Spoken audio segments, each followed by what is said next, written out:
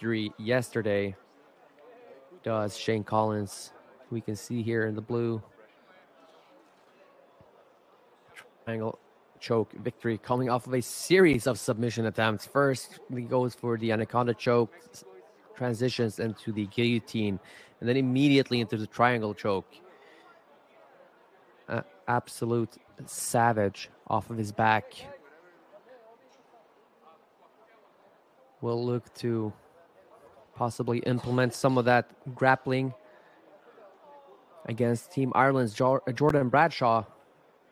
Or will it be the fact that their grappling negates each other and we will see a striking contest between these two men?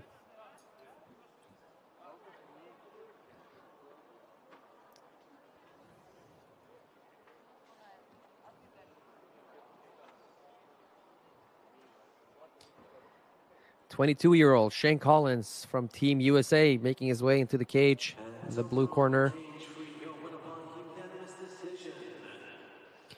Taking on the 24 year old Jordan Bradshaw out of Team Ireland in the red corner.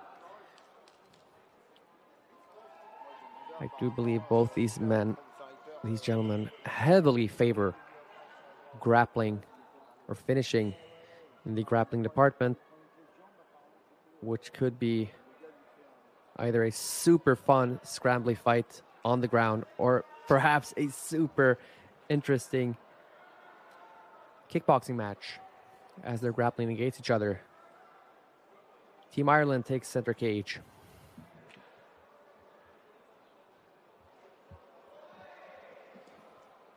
Southpaw for the Irish.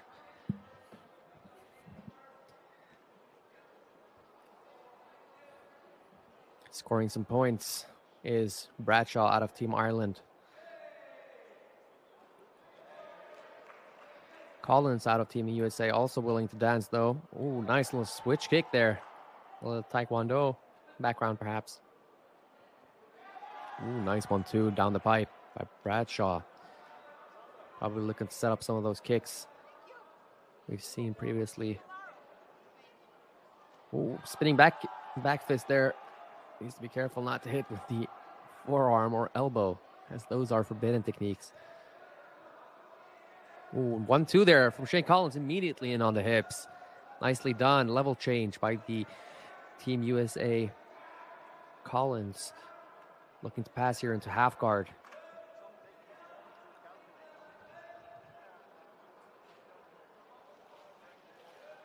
Hard to see from here, but does appear he is successful in doing so.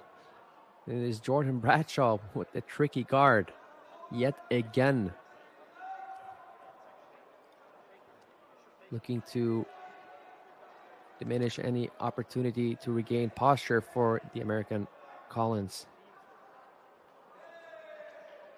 Nice punching, oh, ground and pound for Collins here. Bradshaw now looking to secure an arm.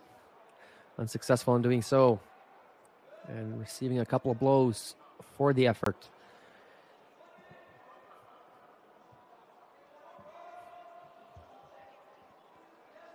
Collins with the heavy top pressure here.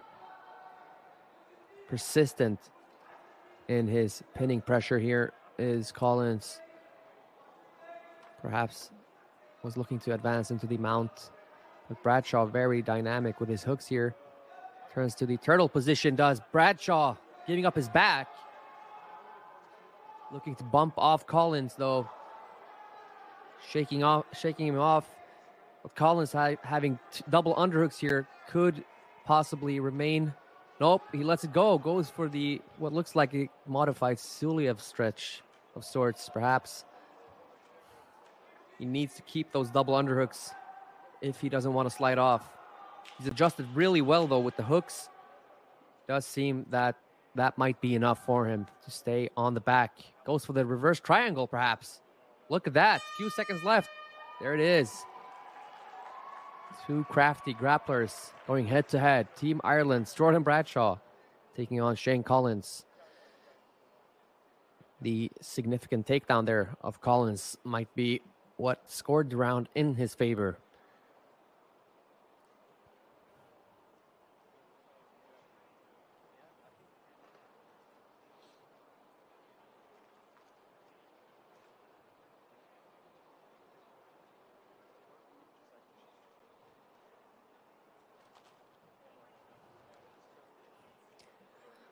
Bradshaw here taking deep breaths. If I were Bradshaw here, I probably wouldn't necessarily be as willing to sit down to guard. Not saying Collins didn't convince him and did a, had a really compelling argument with the top pressure. I do believe, though, Bradshaw would benefit from looking to be more aware of those takedowns, probably keep his distance more, not allowing Shane Collins to get in on his hips. Ooh, nice head kick set up there by Bradshaw. Nicely done. Could probably benefit from keeping it more in the striking department. Goes in on a single leg, though, here. And it is Collins with a knee tap. Gets reversed, although ends up on top. Immediately passes to half guard, does Collins. With the double underhooks. A solid position here to be able to pass even further if he'd like. Preferably, I think, into the mount position. We'll see here if he can get that left knee around the other knee of oh it goes to side position nicely done with the leg pummeling of shane collins goes to the turtle does bradshaw looks to get his legs underneath him looks for a roll might have exposed his back on the way. Yep collins goes for the body triangle. This is a tough spot for bradshaw. Bradshaw looking for those short punches a la Alexander Volkanovski while having his back taken.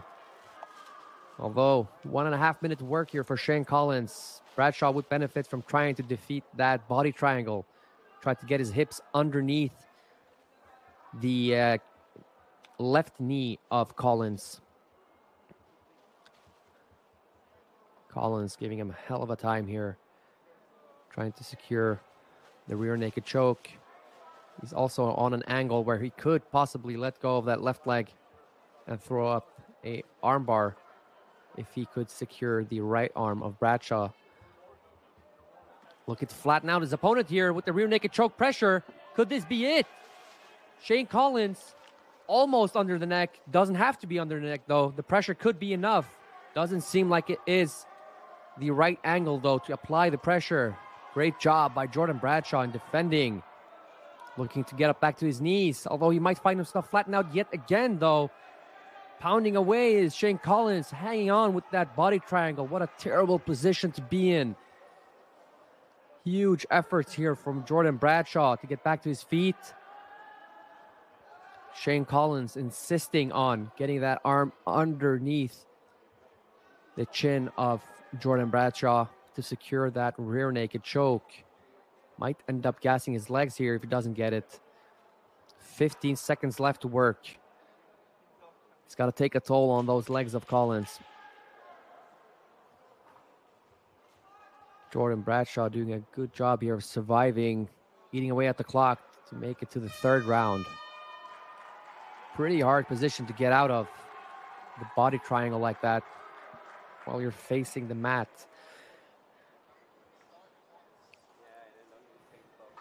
Have to favor Collins in this round as well with the reversal of the takedown and as well as the significant striking from the back. Control time for sure it has to go to Collins as well. Bradshaw now, I think, I do believe he needs to go look for a finish. Unless the first round was in his favor as well, he might get away with a split decision here in the third, as the legs of Collins might have been a bit gassed from that body triangle, which he insisted on keeping for pressure, which of course could have led to a rear naked choke. We'll see here in the third and final round between Ireland's Jordan Bradshaw taking on Team USA's Shane Collins. Third and final round. I do expect Bradshaw to keep it on the feet, look to stick and move now set up those beautiful kicks of his. Nice kick of Shane Collins, of course, as well.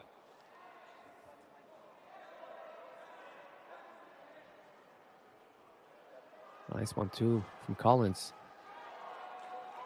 There he goes. Bradshaw needs more of those kicks. Ooh, front snap kick to the gut. takedown attempt from Bradshaw. Gets countered by Collins. Doing a good job of pinning Bradshaw here to the cage. Looking to get that single high crotch, perhaps.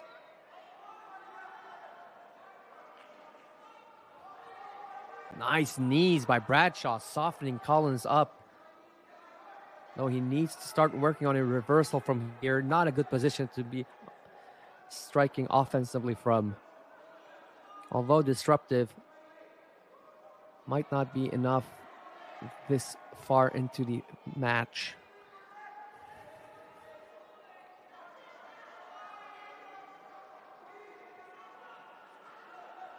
Huge pressure here from Collins.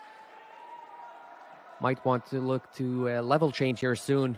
But Bradshaw, of course, doing a great job of keeping upright with that overhook of his, denying him any ability to clasp his hands, though he might have found the body lock. Hard to tell from here. Looking to slam his opponent with one and a half minute left on the clock.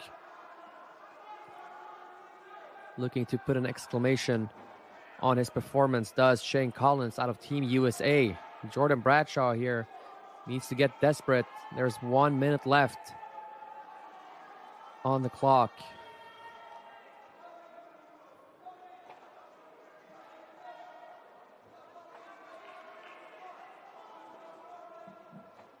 Keeping that pressure is Shane Collins. The referee might just ask for more activity soon because the activity is not lacking at the moment, though.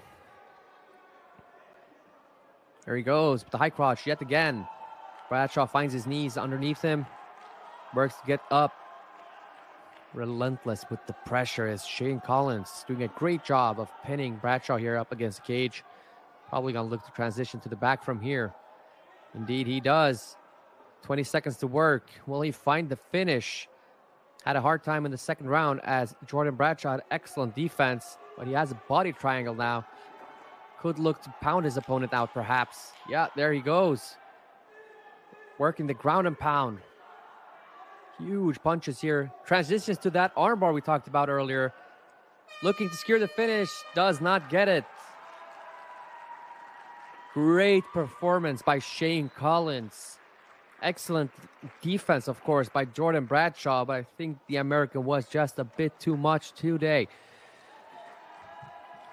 What a prospect we have on our hands in Shane Collins. Looks super promising as a lightweight contender, possibly moving on to the quarterfinals. Not writing Jordan Bradshaw off, but I doubt that he did enough in the judge's eyes. The official decision will tell us more.